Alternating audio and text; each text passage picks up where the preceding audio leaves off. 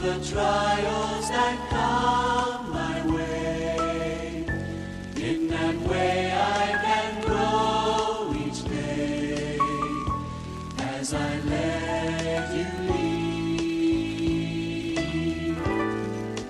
And thank you, Lord,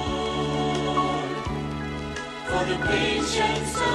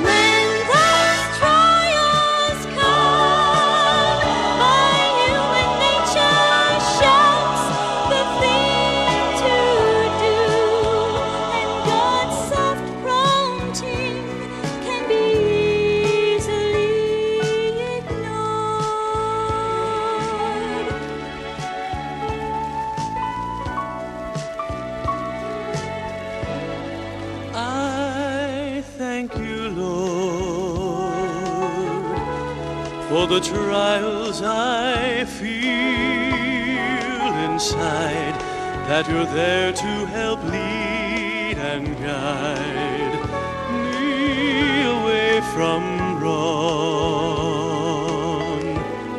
For you promised,